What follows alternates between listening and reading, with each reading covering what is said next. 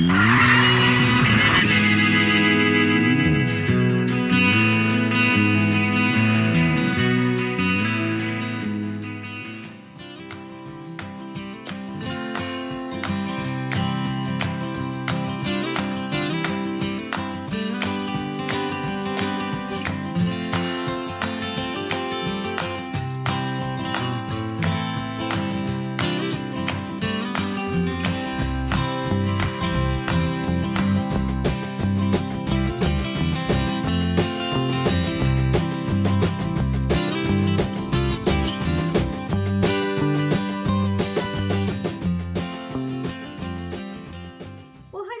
Stampers, Deb Valder here. I'm with Teaspoon of Fun, and I'm here to show you how to do this beautiful Luxe Peony Flower. It's very easy, but um, we've had a lot of questions on it, so I decided I would show you how to do it. Super, super easy.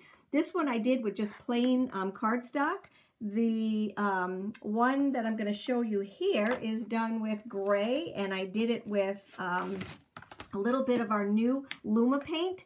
Um, very easy again on um, how to do this, but I'm going to show you how to do this on another video. The background is absolutely gorgeous. I do cut out lots of extra pieces and keep them on hand so that um, when we go to use them, um, they're at the ready. All right, so I cut out a bunch of these. Uh, with the flower, you're going to get um, six flowers, and you're also going to get two stems in this one die set. So what I want to do is just show you how easy this is to do. Um, you can color it before or after. You can leave it white. You can actually color it out of co uh, colored cardstock so then you don't even have to color.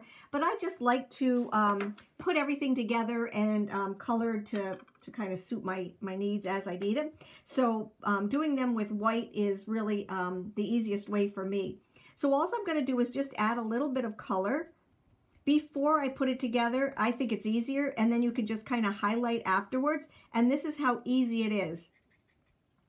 All right, so there's that piece. I'm just to go along. I'm using Copic markers here. Let me just move this out of the way here. Okay. Um, super easy, super, super easy. Some of you should be getting yours in the mail that, that ordered them. And um, like I said, there it's super easy to do.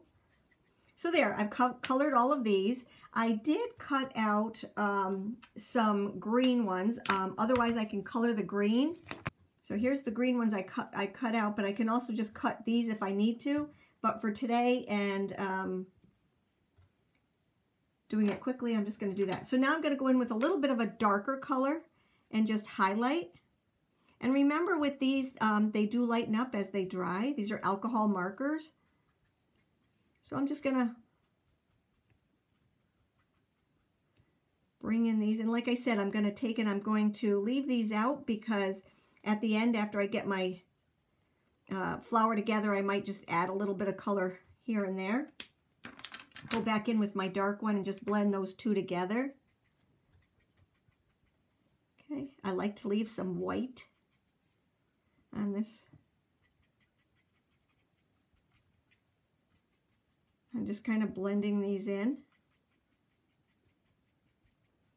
There we go. There. Alrighty, so there's my there's my flower. The next part is so super easy. We're just going to take our we're just going to take our deluxe adhesive and just start gluing it together. So um, what I like to do is, oh, before I do that, I'm going to take and I'm going to curl them just a little bit with my crease tool. All right. You want to hold on to the middle of it because um, you don't want it to rip off. If it does rip off, it's not a big deal because what we're going to do is um, just glue it together with our glue. So I'm just going to kind of start to curl these and you're going to see at the end that I'm going to actually curl them back up again. It's really kind of a lot of fun, but you're going to see how fast this is. Let me just blend this one a little bit better here. There we go. Alrighty, uh, let's see, we curled that one. See, if you don't, if you just take and pull on these, what's going to end up happening is it's going to uh, rip right off, and you don't want that to happen. All right, so now we're going to start with our bottom layer. I like to put this, this fat part down at the bottom, so that is my bottom piece right here. So I'm just going to take and put that at the bottom. I'm going to add some of our adhesive. Okay, just in the middle there. And um, we're going to take, oh, I forgot one. Oh, one, two, three, four, five, six. Yeah, I forgot to color this one. So let's grab this one. And you don't have to use all the pieces. For this, I'm going to show you how to do it. But um, you really don't have to. If you don't like one piece or another piece, you can just take and eliminate it. All right, no big deal. Like I said, these, these are very customizable. All right, so I've got the fatter part down there at the bottom. The next one I'm going to put on is this three piece. And what I'm going to do is just kind of intertwine it in between these little guys right here. So let's just go kind of like that. And then what I do is I take my uh, retractable knife and just put it in there. We're going to use this retractable knife um, at, at, the end also, so it's not just a, a, thing that I hold down. You'll see how fast that this glue um, adheres. And you'll also notice that I always put the top back on. That's very important um, because you don't want it to dry out. So the next one I'm going to put on is the other one that so it went from it went from the big one to three and then two. And again, I'm just going to kind of turn it a little bit, putting it right in the middle like this, holding it for just a second with this little piece right here. Do you see how it's already bringing up the uh, the uh, beauty of the flower? Okay, we're almost done. All right, now we're going to take and we're going to use either one of these two pieces right here. So I will take the larger one first, add some more adhesive right here. Okay, we're going to add that to, oops, this one I got to, this is the one I forgot. All right, I'm just going to take it, I'm going to curl it. All right, and then just add that up there a little bit to the middle, but um, higher. You're going to see these two are going to go down just a little bit lower. All right, just hold it with your retractable pick.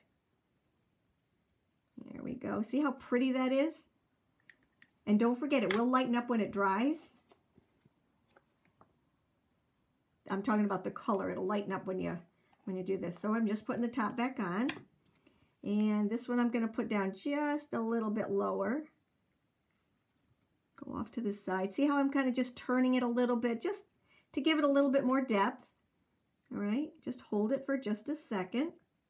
And then this is going to be your last one. That's how easy it is. But I'm not done because I want to show you how to curl and make it come even more alive. All right, so this one's going to come right down here.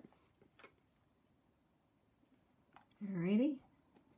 And the last piece right here. All righty. There, that's all there is to it. So we're going to let it dry just a little bit. And while we're doing that, we're going to add our little um, stems to it. Now you can do that on the card. I'm just going to set this off to the side for just a minute so it can dry. We're going to add our layered pieces right here. So I'm just going to take my Easy Grand Runner.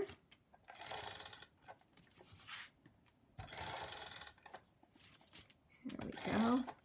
I always put a little bit of extra in there when you, um, because you know when we're doing our, uh, our 3D embossing folders, we always take our little spritzer right here and just spritz it before I run it through the machine. So this right here um, uh, was a little bit wet. And after it dried, I'm just going to put it all together. And this is my, my background layer. Okay, now we're ready for these little guys. So what I'm going to do is I'm just going to kind of eyeball this. All right, and let's see, we'll put that one there. And we'll put this one here. And you can make up a whole bunch of these. And then when you're ready, don't put a saying on it. And then when you're ready and you need a sentiment, you just put the sentiment on that you need for that particular card. So right now I'm in the midst of making a whole bunch of thank you cards. Um, so probably that's what you're going to see me doing a lot here. All right, so there's one. And you notice I didn't put it on the upper part. That's because I wanted it to kind of stick up a little bit, give it a little bit more dimension. Put the top on my glue. There we go. Let's make sure that they're in the right spot. Yep, that's good, good, good. Alrighty. All right, now what we're going to do is we're going to take some some eh, foam foam dot. All right, for this one, I think I'll just use the smaller ones because I just want the middle to be done. Okay, and now before I put that on there, what I'm going to do is just curl it a little bit. So this is where the retractable um, uh, picker comes in. It, now what I'm going to do is I'm going to take and I'm just going to take and I'm going to bend them with this retractable picker. Okay? You see how much more depth it's going to be? Very, very pretty. And then I'll do it again after it's on there. Alrighty. Isn't that so pretty? Look at, that's all there is to this. This little flower, you can do as many, as as many uh, levels of, of, leaves as you want. Um, and now what I'm going to do is I'm just going to go back and just kind of uh, blend it in a little bit more. I'm going to take my YR000 and just, there we go. See? And then we're just kind of blending in the color. And that's all there is to this. That is our peony flower. Um, it's absolutely gorgeous. I'm going to put my little saying on there when I need it, and we're done. I hope you enjoyed my post for today. Make sure you like it, um, share it with your friends, and come back soon. Thank you. Take care.